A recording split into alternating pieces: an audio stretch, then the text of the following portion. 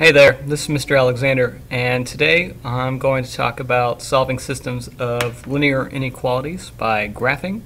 And this is what we did in pre-AP Algebra 2 at Stony Point High School on Friday, September 26th, and Monday, September the 29th. So I thought I'd quickly walk you through how to do some of these.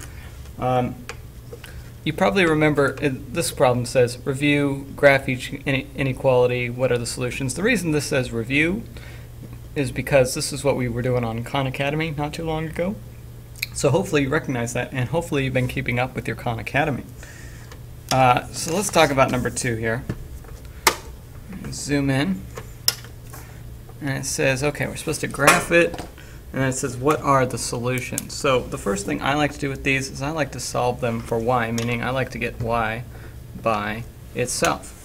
So I've got 4x minus 3y is greater than or equal to 18. First thing I want to do, subtract 4x, because I'm trying to get the y by itself. I'm trying to isolate the y. So I've got negative 3y is greater than or equal to negative 4x plus 18. Now you might be asking, why did I put the negative 4x over there on the left? Why didn't I put it, why didn't I write 18 minus 4x? Well, I'm trying to get this into slope-intercept form. And in slope-intercept form, usually we've got the x on the left and the constant on the right. Okay, the y is not by itself. The last thing I need to do is divide by negative 3 to everything. Divide everything by negative 3. All right, so these cancel out. I've got a y. Oh, but don't forget, when you multiply or divide by a negative, you gotta flip the inequality. So, y is less than or equal to, negatives cancel out, 4 over 3x, then 18 divided by negative 3 is negative 6, or just minus 6. So I've got an inequality here that I can graph. You should always start with the y-intercept. Start with that negative 6 and put that, mark the y-intercept. Now your slope is right here in front of the x because this is slope-intercept form, slope-intercept. So this means go up 4, go up 4, and then over 3. So up 1, 2, 3, 4, over 1, 2, 3. Up 1, 2, 3, 4, over 1, 2, 3. Now we can draw on this line, but the next thing you got to ask yourself, is this a solid line or a dotted line. And your hint is right here. When that little bar over there, that or equal to bar, that's a solid line. If that bar was not there, I'd be drawing in a dotted line. But it's there, so I'm going to draw a solid line as straight as I can. Hopefully you can draw a little bit straight. Okay, last part. It says, where do I shade the area? Less than. Less than is the area below. So Okay. The last part of this question was, what are the solutions? You can't see all of it, but it says, what are the solutions? Well, the solutions are, is every single point inside of this shaded area, including the line. So all these points on the line, that's included in the solution. All right, so that's review. What's the new stuff? Let's look at number four here says graph each system of inequalities and determine whether the point, this point, is in the solution set. That's what it says there. If you're looking for these notes, go get them from your teacher. Or you can print them off the calendar. The calendar has a PDF document link for every single one of these. You can get the attachment. You can print it right off at home if you prefer. All right, so I've got two equations now. And I'm supposed to graph them and shade the appropriate area. So I'm looking at this 2x minus 3y is greater than or equal to 6. And again, this is not in slope-intercept form, which is makes it a little bit harder to graph. So I want to graph it, and I'm going to put it in slope-intercept form. First thing, subtract 2x from both sides. So those two x's go away, and I'm left with negative 3y is greater than or equal to and again, I'm going to put the negative 2x first to get it in the right format for slope-intercept form. Again, the y is not by itself. Uh, so I need to divide everything by negative 3. And I do mean everything. All the numbers, anyway. So those negatives are going to cancel out, the negative 3's. Leaving us only with y. And we divided by a negative. Anytime you multiply or divide by a negative, flip the inequality. So now it says y is less than or equal to 2 over 3x minus 2. So I can graph that. Start with the y-intercept of negative 2 and go up to 1, 2, over 1, 2, 3. Down to 1, 2, over 1, 2, 3. The way I know whether to go left or right when I'm plotting these points is the slope is positive, and a positive slope always slopes upward from left to right. That's how I know which direction to put these points. It needs to go upward from left to right. And again, this is going to be a solid line because it's got the equal to sign there. So I'm going to go ahead and draw and draw a straight line.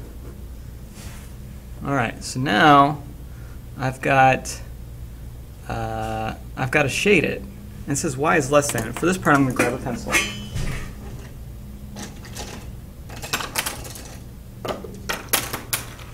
And I'm going to shade the area beneath. Okay. Now the last part of this is the line y is greater than or equal to 4. Negative 4, sorry. Now the line y equal y is greater than or equal to negative 4, that's a straight line. And it's a straight vertical line. All these lines, all these, I'm sorry, a straight horizontal line. All these horizontal lines are always of the form y equals. So y equals negative 4, put a point at negative 4. 1, 2, 3, 4. And just put in a straight horizontal line. And it's a solid line because it says greater than or equal to. And I'm going to shade the area above because it's y is greater than. So shade the area above. So the question is, which region did I shade twice? I'm going to do that with a pen. I'll make it dark. The area that I shaded twice is right here. That's the solution set. The area that you shade twice is the solution set. Or if there's three equations, it's the area that you shade three times. Okay? So this, the dark part, is the solution set. So is that point 1, 3 in the solution set? No, it only satisfies that equation. It doesn't satisfy both equations. The answer is no, it's not in the solution set. This point is not in the solution set. All right. So this is, uh, that's two equations. Let's see if we can do one with three equations now. Let's do number six here, looks challenging. Let's try that one. Because now we've got two equations that are not in y equals form. So I'm going to have to solve both of these equations, put them both into y, into slope-intercept form. So I've got this 2x plus 2y is less than or equal to 4. I'm going to subtract 2x minus 2x minus 2x to get 2y is less than or equal to negative 2x plus 4. I'm running out of space, so I'm just going to divide by 2 to get y is less than or equal to negative x plus 2. And I didn't flip the sign because I only divided by a positive number. If I would have divided by a negative number, I would have flipped the sign. But I didn't, so I won't. All right, this equation, number 2, this negative 2y less than or equal to 6 minus 3x. The first thing I'm going to do is rearrange these terms because I like the, the x to be first. And I'm allowed to do that. Negative 3x plus 6. As long as the number keeps the right sign in front, you can do that. So I'm going to divide everything by negative 2. And when I divide by a negative, to get rid of this negative 2, I've got to flip the sign. And negative 3 divided by negative 2 is just 3 over 2x 6 divided by negative 2 is minus 3. Alright, so I'm going to graph these one, two, three equations. Let's do number one first. That was one over here. One, two. Uh, y is less than or equal to negative x plus 2. So plus 2, negative x is up 1 to the left 1, up 1 to the left 1, up 1 to the left 1. And these are going to be solid lines because there's that less than or equal to right there. So that's a solid line. And it's everything below it, so I'm going to use my pencil to lightly shade it. Lightly shade everything with my pencil. All the stuff below that line. Okay, this other line, this 3 over 2x minus 3, minus 3, 1, 2, 3, and then it's 3 over 2 up 1, 2, 3 over 1, 2. It's that same point. Up 1, 2, 3 over 1, 2. And it's a solid line. So I'm to make a solid line, and I'm going to try and shade everything above it, because it's y is greater than. So, so far I've shaded this region twice.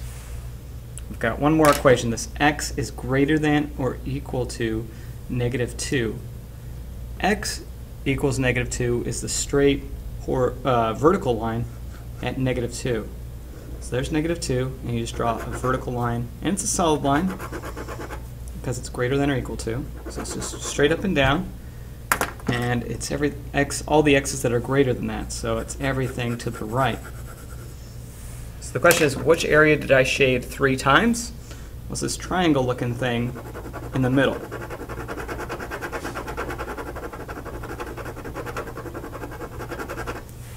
So that's the solution set. The question is, is this point in the solution set? So over one, two, three, over one, no, it's just outside the solution set. So that's a no. That's not in the solution set. All right, so that's how you do inequalities. And the last thing I want to talk about uh, is this word problem here. Now I'm not going to graph this one for you, but I am going to help you write the inequality. And that's it, and then you'll have to graph it. I've already shown you how to graph it once you've got the inequality. So let's talk about how to write the inequality though. Carol's Math Club, you all are in a math club, right? Yeah, okay. Carol's Math Club wanted to make t-shirts to sell. They knew they could sell at least, at most, 50 shirts. The cost of yellow shirts was $3 each, and the cost of blue shirts was $8 each. The club had $240 to spend. What system of inequalities could be could the club use to determine how many yellow shirts and how many blue shirts they can order?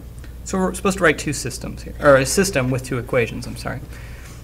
They knew that they could sell at most 50 shirts. The first thing I like to do is define my x and my y. Let's say that x are the blue shirts. And y is the yellow shirts.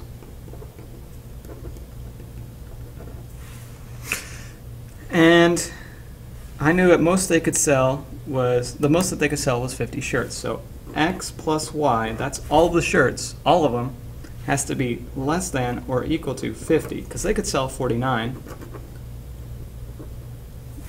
but they can't sell 51. Also, I know how much they cost. The cost of a yellow shirt is 3, and the cost of a blue shirt was 8. So 8 times the number of blue shirts plus 3 times the number of yellow shirts has to be less than or equal to the amount they can spend, which is $240. So now we've got two equations. 8 times the number of shirts is the price, the total number, the total price for the shirts that they have to spend. 3 times the yellow is how much they have to spend on yellow shirts. Now you can go ahead and solve these both for y, graph them, and then answer the question. You should know how to do that based on what we've done so far. Uh, so that's it. That should help you with linear inequalities. Um, as always, thank you for watching, and good luck.